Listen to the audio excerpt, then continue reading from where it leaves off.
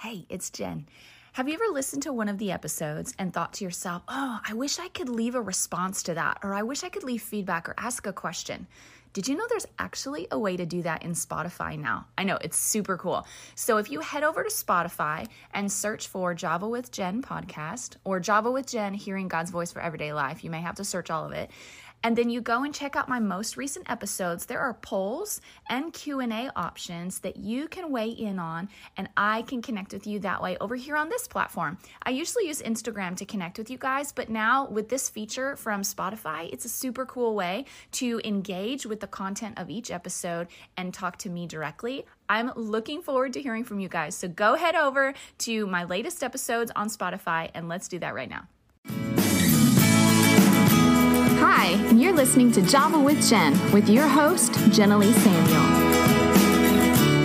Hi, and welcome, you guys, back to Java with Jen. Today I have an exciting guest. This is my sister, and her name is Crystal Lott, and she is in the acting industry. And so I thought it would be great to have a show with her. I know lots of you guys may have questions about acting, and I don't know about you, but I've always been a little fascinated like what goes into an actor's life. We see them all over headlines, and you know, is it really as glamorous as it seems? So today she's going to share some insider scoop on what it's like to be in the acting world, the glam side, and the nitty gritty of the back stories that you don't always get to see as as well as at the end, stay tuned, we will have life hacks with Crystal, and she's going to share some little tips and tricks that she has found that make her life easier um, as a single woman in LA or as an actress or just whatever. She's got some little nuggets of gold saved for the end. So listen all the way to the end to catch those. So this is Crystal Lott. Let's give her a round of applause. Yay!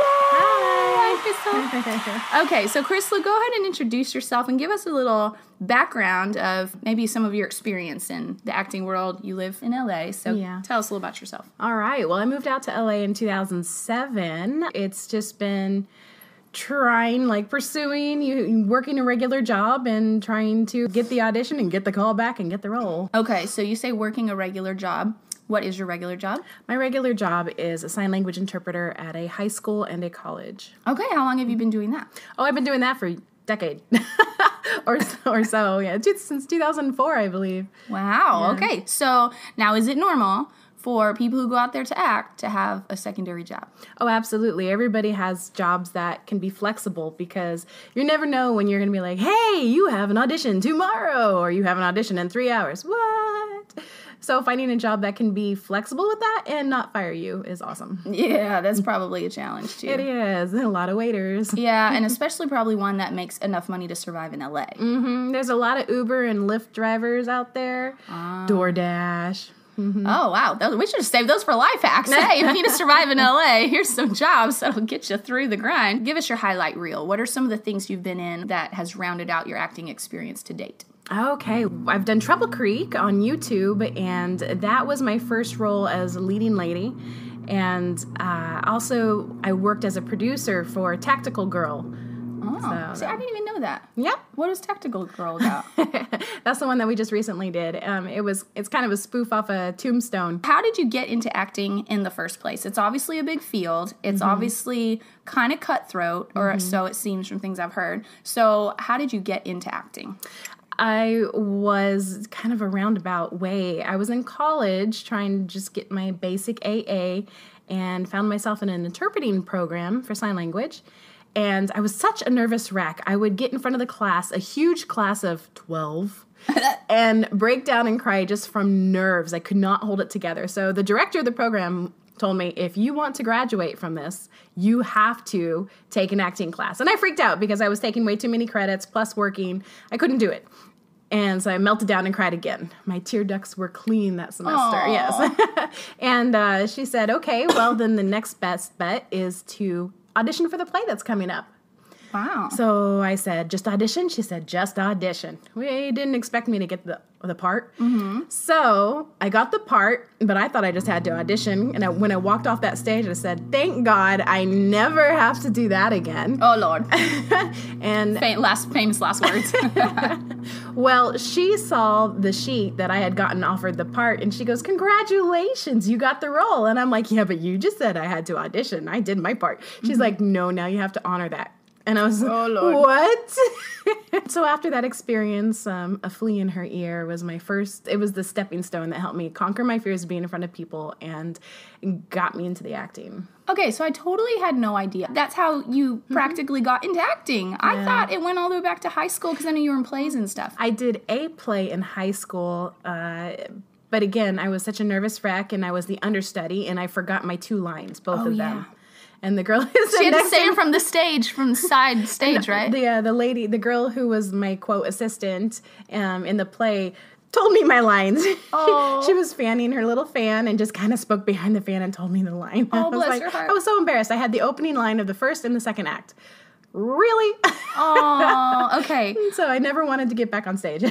Okay, so that's crazy that deaf interpreting was your doorway into acting. The Like, big one. like I was always drawn to acting and performance and had a fascination with it, but Mm-hmm. terrified of it.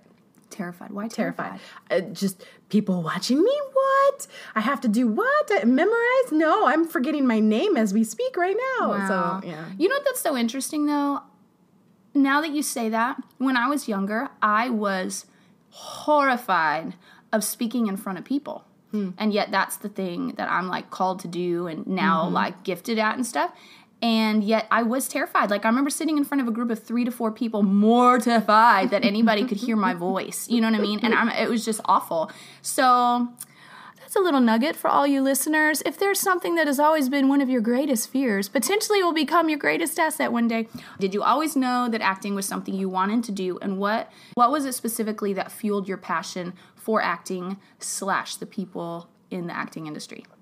When I was a little girl, apparently my heart was for it. I mean, mom just recently told me that even when I was just little, I, I always wanted to be an actress or a model, and um, and even had a heart for the people in the extent that these people need to know that they're loved and they're just human too, and we put them on pedestals, and there's no way that people can survive with that type of pressure constantly. They have to be seen as humans as well and they they feel sadness and they feel emptiness and a lot of times we judge them because they get on drugs or you know they're such a bad example or but we don't know the story behind their pain. Yeah. and so I've I, always since I was a little kid, I just it started with Michael Jackson. He was my first one that I would always pray for Michael Jackson, and um, I I don't know if that affected his life at all. I can only believe that it did to some extent, and uh, yeah. That's I remember. I'm going to tell your story now. Oh. Um, we were talking about this a couple days ago. Uh, I remember when she was. Mm, I imagine you were like in junior high. I feel like maybe maybe high school. Maybe it was was, a freshman. I think it was a freshman. Okay, so somewhere right between there.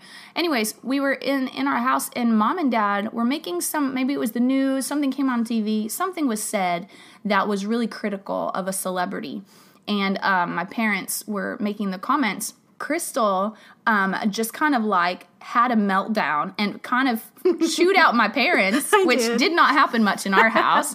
Um, but she did kind not do that in our no, house. she but she was tears a mess, and she was like, "They are just people. Why don't you guys? We're here on the missions field saving people. They are people too, and they need Jesus too. And what is wrong? And why is everyone blah blah blah?" So she just went on and on, and I was kind of like eyes like saucers, like holy crap, did she just talk to mom and dad like that? But at the same time, we could all hear her passion and her compassion and her brokenness for this group of people through her passionate moment. Mom and dad responded really well, and my mom They was handled like, it very well. yeah, they did. And my mom was like, Wow, Crystal, I had no idea you felt like this, but you're right. They are people. And I'm so proud of you, honey, to have such a heart for them. And so they totally handled it well. And that shifted the way we talked about celebrities in our house.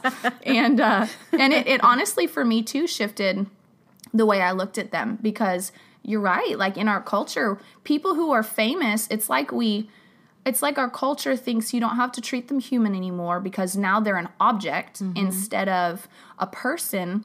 And like the criticism the lies the scandals the the finger pointing and accusation and judgment that they endure is so unfair. Mm-hmm. We wouldn't do that to a next door neighbor. Why would you do that to a celebrity? And they just handle so much criticism and scrutiny. Mm-hmm. And and because there's so many critics and because of their influence it's probably harder to know who they can trust as friends and so it's probably harder to find safe friends and so then you deal with loneliness on top of all that pressure so i yeah i totally it, that was kind of life changing for me Yeah. to see that experience. Given all of that, um, how does your faith factor then into your acting experience and the fact that you've been around actors? I mean, you were a roommate with someone who was Angelina Jolie's stand-in double for a mm-hmm. few movies. Yeah. You've been around people of influence. So how does your faith play into your your mm-hmm. experiences as an actress?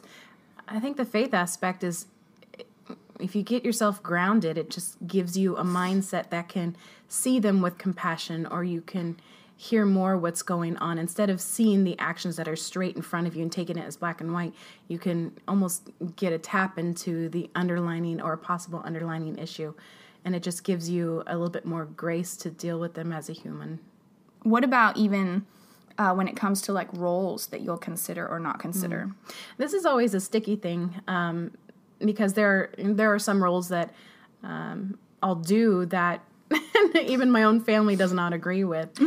um, but that's just the nature of it. It comes down to simply you and your own walk with the Lord and where do you feel that you're getting the green light go ahead because there might be some things further down the pike that you don't know about you know even if it's a role that seems absolutely fine on the surface there might be something in the future that's not okay and so you always just have to stay tuned in to be like okay lord is this where you want me or not Yeah, no, it's. It, I've heard other people in the acting industry who are believers say the same thing that they just have to really each time kind of listen to the Lord on on if it's going to be okay for them. yeah Um, okay, so tell us then practically what is a day of filming like? Like we see what shows up on the TV screen. I've been able to witness some behind the scenes with you and, and being audience members on, on TV shows and stuff, sitcoms. Um, so what is the everyday filming like? Is it glorious? Um, there's aspects of it that are absolutely glorious. Uh, and there are other days. This is a sit and wait, like hurry up and wait is what they call it, because you have to, you know, you go to makeup and you get your hair and, and your face done, and then um, you go to set and you have your script with you. You can go over lines and you wait and you wait and you wait some more. And While then they're finally- lighting or something? Oh my goodness! Whether it's be setting up lighting, moving to a different location, or and you know d- getting it from a different angle. It's just there's a lot of um, technical stuff that the actor simply waits to be done. Ah. You know, the people who I think get the biggest kudos are all the crew. They hmm. bust their booty the entire day.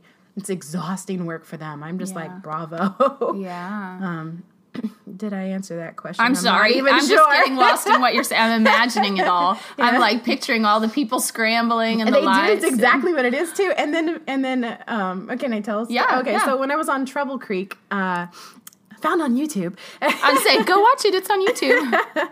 uh, there was there was the set or or the the waiting area. I forget what you call it. Um, the I call it the waiting area where we was getting hair and makeup. Each set is different as far as mm-hmm. like if you have a trailer or if you have a room which is mm-hmm. craft services, hair and makeup, and waiting, it- uh-huh. and the restroom. It could be all squished together or it could be separate. It has you know, sometimes you have a trailer for um, what they call the honey wagon, which is the porta potties basically. Oh, why they the call it the honey wagon? I don't know why they call it the honey wagon. Like, should we Google that? Where did that come from?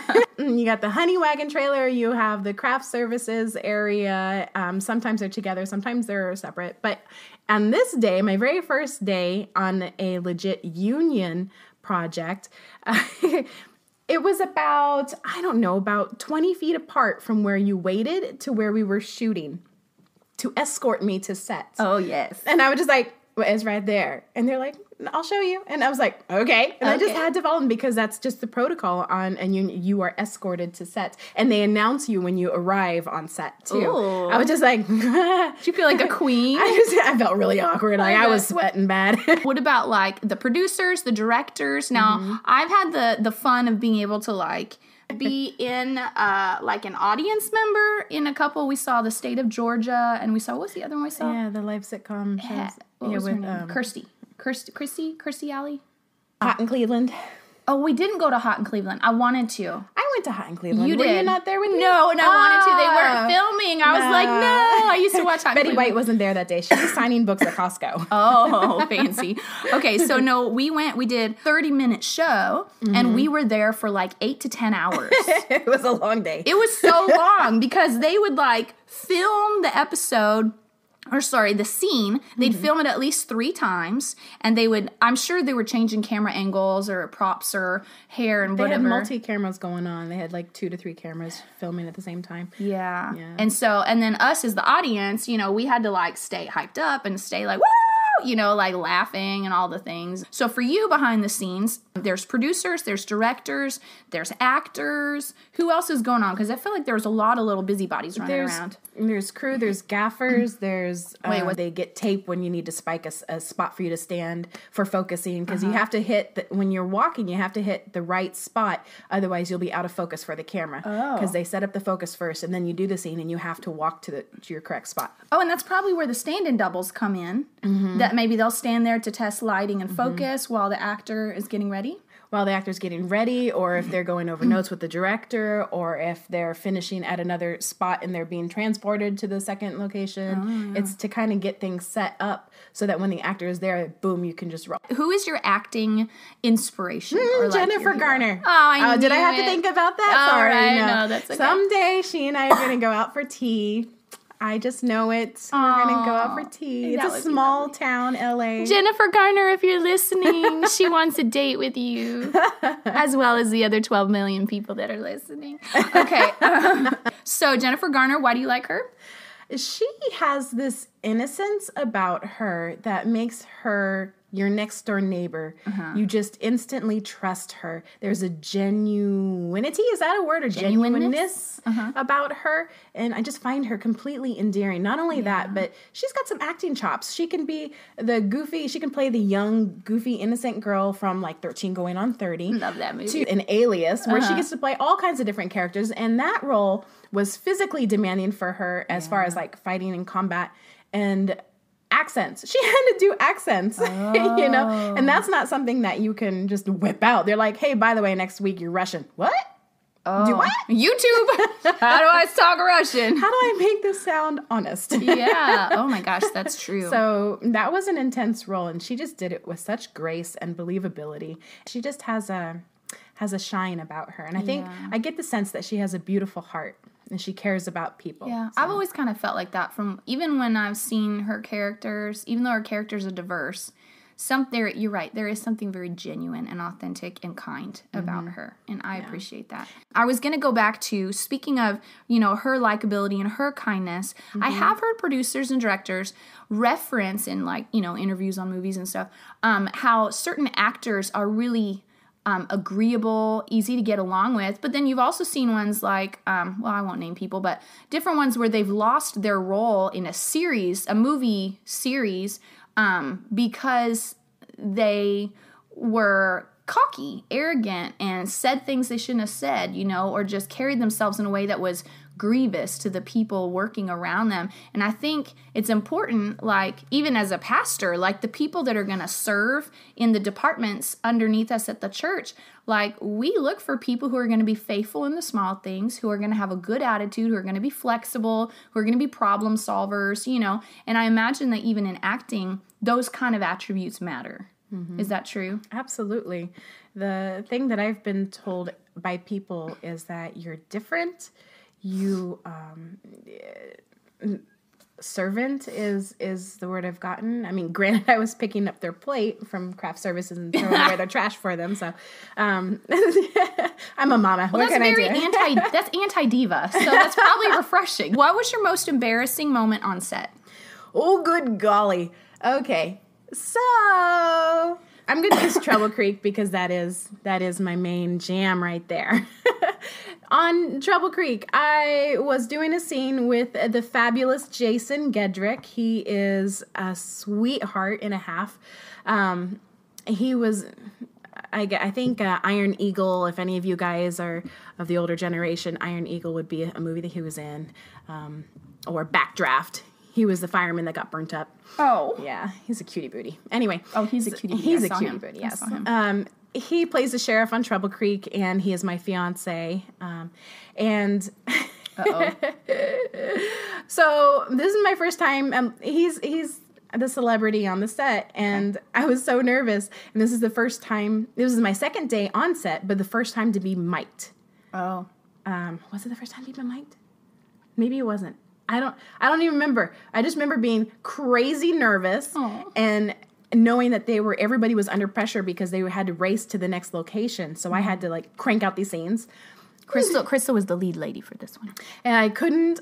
I couldn't remember my lines. I ah. kept messing up because nerves, nerves, nerves. I'm like, wait, now I have to move and say my lines and and speak. And is my microphone getting lost in my cleavage or is it muffled? Like I'm thinking all these things instead of being present in the moment Yeah. and we're we're we're standing there saying our lines. We're in the middle of scene, and I'm thinking it's like stage. You can't stop. You have to keep going. And I just got quiet, and it was my turn to say something, and I almost started crying. I just looked at Jason. My eyeballs got really big, like saucers, and I went. I just kind of squeaked. What did and he then do? and then the director he was just kind of looking at me like he understood, but he there was no way he could prompt me from what my line was. Yeah. And so then finally the director had pity on me, cut, and comes over. And um, she's like, we thought it was a dramatic pause, but then it got very long. Aw. and she's like, you know, you can call for line, right? And I was like, I can call for line? Aw. and she's like, yes, I didn't know you didn't know this. I was like, no, I was thinking a stage. You had to get it right in the take. Oh. Wait, how do they do that? If you call for a line, doesn't that mean they've got to like edit the scene and stuff? well, that's the magic with film is um, you're always editing. That's pretty cool. because you might have an amazing scene that was perfectly lit and and just the actors were on point and way off in the background somebody decided to use their weed whacker I like my garage door. they'd be like or hold for the plane there's a plane flying overhead Oh. or or somebody's car alarm goes off or all these different things that can mess it up or That's so annoying. Mm-hmm. Oh my goodness. So Okay. Um that, so that- embarrassing. That is that is really embarrassing. I could totally see that. Because I just held forever and then I, I just wanted to cry. I was like, time's ticking. They have to go. I'm so in trouble. They're going to fire me. What's been your greatest disappointment and your greatest victory in acting? Because it's a journey. And Yeah. so, what are your two, maybe your your best and your worst? okay. I would um, say the worst is just the disappointment that comes from waiting so long or hoping for an audition or it'll go a year, a year and a half without even having a single invite to audition. Like it's discouraging. Why am I out here? Yeah. Um, and I was at that point with. I'm sorry, I keep bringing up Trouble Creek, but that was that was such a pivotal role for me. It was a turning point for me because it kept me in LA. Yeah. I was on my way out. I was ready to leave LA and go back to Arizona, and that, yeah, and just getting that role that was the victory for me Yeah. because it was it was that thing that it was that project that was able to check off all the boxes on my why I moved to LA list. You know, it Yeah. it provided red carpet interviews. I've been on the screen um, all over the U.S. with the film festivals. yeah. And um, Grandma was my hot date Aw. at the red carpet. She's she's now passed away, so that was my last um, big moment with Grandma. Is that she got to come into the studio and see me on the big screen, and that was always a dream of mine. Oh, that's so special. I didn't realize that. I remember her being dressed up for it, but I, I Yeah. didn't see all those pieces together. Well, and I love that because um, I do remember, and this kind of goes back to how your faith plays in. You've shared with me some moments where you were like, okay, Lord, like I felt like you called me out here and I've got nothing on the radar. I remember, and you tell the story because she had set a deadline, put kind of a fleece out for the Lord, and tell them how the Lord responded to your fleece moment. So this was 2016, and it was uh, January, February. Some I can't say that month. I got an audition. I felt like it was, I felt like I was perfect for the role, and um, and just almost like a possessiveness about it. Um, and then when I got the call back, which was fantastic, I had two callbacks. And um, and then when I got offered the role, I happened to be with mom and dad because I was we mom and dad and I were going on a camping trip and I was like, all right, if I don't hear back about this project by the time I get back, then we're just going to pack up my stuff and I'm going to continue on to home to Arizona with mom and dad. Yeah. I need confirmation that I'm still supposed to be out here because I'm tired and I'm done and there's been no ground. So I need something to tell me yes to still stay out here that it's not um, a waste of time. It was a day we were leaving. We were, we were at Walmart getting, I think, bottles of water and some snacks on the way out of town. And then I got the email in the parking lot. Oh my and gosh. so I got the email and I screamed, and then mom screamed, and then dad just started jumping up and down. He's like, Why are we screaming? and mom goes, Alan, she got it. And she's Aw. like, Did she say that? No, but she's screaming. You know she did. Oh, moms know. Moms just know. Yeah. Oh my gosh. Don't you love when the Lord waits to the very last possible second? No, I don't love it. Oh my gosh, Lord, why do you do this to me? Even though in that moment she said, I've had no traction and made no progress, whatever, whatever. That's what the feelings were saying. Uh-huh. She had had a lot of experiences, learned a lot of things, taken a number of classes, had a number of exposures, and done some projects and stuff. It mm-hmm. just wasn't the, it, there was no breakthrough moment. Mm-hmm. And I think that they were enough to kind of keep the hope alive. But you know, like the word says, that hope deferred makes the heart sick. And I think mm-hmm. your heart had grown kind of sick because the hope was alive, but it wasn't enough to make you feel like we're getting somewhere. Absolutely. Yeah. Mm-hmm. And so that moment was like I remember about Trouble Creek, even though it wasn't some major production that's like a sitcom on national, whatever, whatever, like it was still such it carried so much promise. It was like mm-hmm. a promise of what's to come kind of thing. It seemed like it was more like a seed of future and it just it came with so many confirmations of mm-hmm. things that had been in your heart and even lies the enemy had spoken to you and insecurities and fears that you carried of like mm-hmm. maybe I'll never be a lead lady and then you get this thing where you're a lead lady, you know, or maybe I'll never this and then this thing happens. And so I remember that being such a I don't know, it was a game changer for you. It was definitely a project that healed my heart. And the people I met were just priceless. I love them all dearly. Oh, I know. I see that the camaraderie of people working on projects together. Okay, so what what piece of advice would you leave to listeners? And this kind of segues into our life hacks. So that we'll we'll we'll smash this pieces of advice with life hacks with Crystal right now. Okay, smashing them together. If you are aspiring to be an actress, I definitely recommend finding a class that you can get plugged into. Um, and if you if you can't afford classes because they are expensive, I'm not going to lie, they are expensive. You still need to be doing something, whether that be volunteering or um, with a theater troupe somewhere. Get plugged in there. What are the most important things to have if someone wants to get into the acting industry? What are the most what are the essentials they have to have in place to be able to start submitting for things? Headshot and resume. Headshot Because the demo reel will come as you book projects and get your footage if you do student films. Get your footage from them oh, like because they don't pay. So your your your footage is your payment. Make sure you have good lighting. So nowadays, there's so Mm. many eco casting, which means you videotape yourself at home and you send submit it, Oh. um, whether that be voiceover or video. Uh, so make sure that you have a microphone. Um, and if you're videotaping yourself, make sure you have a solid backdrop. Do not use your crazy background.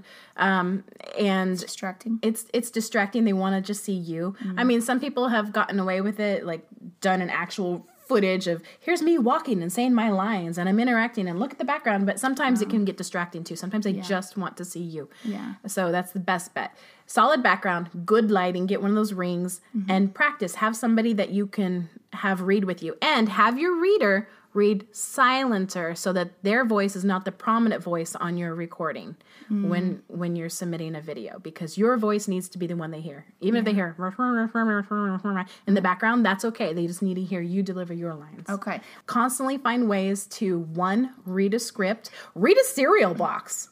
Read a cereal box to where especially if you're training for commercials mm. to where you can look at the cereal box and then deliver the line like pick up the information. Nutrition facts calories are 150 calories you know like uh, whatever. Serving size is two-thirds cup You- wh- so you can Uh-huh. look at something and pick the words up off the paper. That is a skill to be able to glance and grab real fast and deliver to wherever you're supposed to deliver the line. Um, and read scripts, whether it be stage plays or children's uh, storybooks. If you're interested in voiceover, a cartoon, hmm. you grab a kid's book. I love going to the library and invading the kids section and just taking home stacks of kids' books and reading it with character voices. Ah. Play, play, play, play. Get out of your head, get out of your way, and play. Yeah. that, it seems like that's one of the biggest things I hear too. of, Like when I see little snapshots of actors in like training classes or whatever, they're hmm. always like, you got to shake off your inhibition. We can be our own biggest obstacle our fear of failure our insecurity Mm-hmm. our like unsure unsureness of ourselves questioning ourselves always second guessing or comparing ourselves to other people that makes us Yes. feel like we're insufficient like we are our greatest obstacle so many Mm-hmm. times and i like you said this a few times where you're like just do something Mm-hmm. and i feel like that was the message that i kept getting i think the lord was throwing it at me because it was everywhere i looked when it came to creating my podcast like just do something Take a step forward. yeah, mm-hmm. because you learn as you go. Mm-hmm. And then when people like what you start with, then it only gets better from there, you mm-hmm. know? So they get to kind of grow with you as you grow through the process of learning and forming. And so, Because here's the thing is it's art and art is always changing and mm-hmm. always transforming. Whether you be a painter or a sculptor or a podcast person, a musician or a performer or a sound engineer, you're always learning new things and your skills mm-hmm. are not going to be the same 10 years from now. Yeah. So there's no perfect way to do it. Mm-hmm. Yes, there are right ways to do it because you you know, you mess up with things or whatever. But that doesn't mean that a mistake is wrong. That means you are learning. yeah. Truth be told, like I know, for example, when I'm styling people, um, times when uh, when my stats go down, like they're like, "Hey, you're not nailing my style," or "Hey, these things aren't fitting right." It used to terrify me to see my stats drop. Like, "Oh my gosh, I'm failing at my job," you know. But then when I realized, like in those moments, I would I would dig deep. I would really dig into their feedback, try to figure out where I was missing it, and then my stats would go stronger. And I mm-hmm. realized after a few times of that, I realized, oh, well, when I start getting bad feedback, it I always come out a stronger stylist and feel like more of an expert on the other side. And so like you're saying, like those mistakes aren't bad and if we view them as bad, then we're totally missing the whole point. We learn through the struggle. And so I love I love that you're sharing that with these guys because it's so true. Okay, so then what about an agent? Is that important? Um, it is, but you, you're before you get an agent. Most times you need to have a demo reel. oh, really? Excuse me. So having tools to present to agents, being like, "Hey, look, this is what I've done." Um, so agents that aren't as well known might be more open to the newbies. Um, so submit towards them, but again, you need to have headshots and resume. And if you don't, um, they'll tell you during the interview, "Okay, you need headshots, and we need to beef up your resume." Okay. So now, how does someone have a resume if they're a newbie? If you're a newbie, um, start taking classes, go to workshops, and put that on your resume. List your special skills, your abilities. Can you make a taco tongue? Can you ride a unicycle? Like, what are your odd, eccentric little talents and skills that are hidden um, that you can put it on an actor's resume? Okay, yes, which actually makes a really fun point. I'll post, okay, I took a little video footage of me and Crystal talking so you get kind of feel like you were here with us in the room. I'm going to put it on the blog. I'm going to post some other photos, but Crystal, as an actor, is really good. you know where I'm going with this. Really good at coming up with those creative things that beef up your resume. So she has done some of the most random, interesting, bizarre, why the heck are you doing this kind of things? like, like wanting a unicycle and a harmonica for her birthday one year. Um, she got into she did she almost was on a female wrestling show. Was it the women's yeah. WW? And W O W wow. Superheroes. Yes. So she went to training for that and almost killed herself. And then um, so she's like, forget that. Let's be a mermaid instead. So she now is in mermaiding, which every time I go to California to visit, I get to share part in her cool new adventures. So now I have been transformed into a mermaid, and my sons are like, I want to be a merman. One particular, he really is actually really good at it, and so he really wants to do it. Anyways, so what are some? We'll end with this. What are some of your random things that you've learned to beef up your resume? Oh my gosh. Well, that's just special skills. so you really want to beef up your resume with projects that you do. But the random skills, um, taco tongue. Can you hula hoop? Can you fire juggle? Can you? I can't. Um, but can, hula you dance? Can- Yeah. Like what? What? What can you do? Well, Crystal, thank you for being on my show today. Thanks for having me. Absolutely. I'm so proud of my sister. Oh, well, I'm so proud of my sister. Thank you so much. And I hope this was helpful for any of you listeners. Um, if you guys have any interest in getting into acting, reach out to Crystal. You can find her on Instagram at Crys C R Y S dot lovebird. Lovebird because she has a lovebird, and that's why you'll see it in her picture. Um, but she does lots of deaf interpreting videos. So if you see deaf interpreting videos, you've got the right person. Her name is Crystal Lott. You could probably search your name on Instagram too, right? It'll Probably. find you. I think so. I think. Yeah, because I think I usually type that in. I'm so bad with social media. She is kind of bad with social media. I'm trying to help her out with that. but uh, do they have an email address? Would you like to Um, give an email address or? or sure. It's lot, L O T T underscore crystal at yahoo.com. Okay, there we go. So if you have any questions, you want to reach out to Crystal, you can do that. Find her at, at crys.lovebird um, on Instagram. You can also follow me on Instagram, Jenilee Samuel Styling. And um, and I like to throw stuff on there like fashion tidbits and stuff like that. So come follow me on there as well. If you had any questions or had any feedback about today's show, you can always email me. It'll be in my little outro. It's um it's Java with Jen podcast at gmail.com. And then you can, of course, go to the blog and I'll be posting some fun little video pictures and videos from today's interview with Crystal and some of our mermaiding stuff I'll put on there. So you can go over there for a fun little couple minutes of entertainment. My uh, blog is wordpress.com slash, wait. I don't know if that's right. JenileeSamuel.wordpress.com. That might actually be it. Shoot, I think it's in the outro. Listen to the outro. Anyway, so come find the blog. Follow me on Instagram. Go follow Crystal on Instagram. So until next time, thanks so much for tuning in. This has been Java with Jen. Y'all have a great week. Thank you so much for tuning in to today's show. For those of you who've rated or shared this podcast on social media, thank you. It really means a lot to me. And don't forget, you can always email me with questions or comments at javawithjenpodcast at gmail.com. And for links or show notes, just go visit my blog at jenileesamuel.wordpress.com. Until next time, you've got this, and God's got you.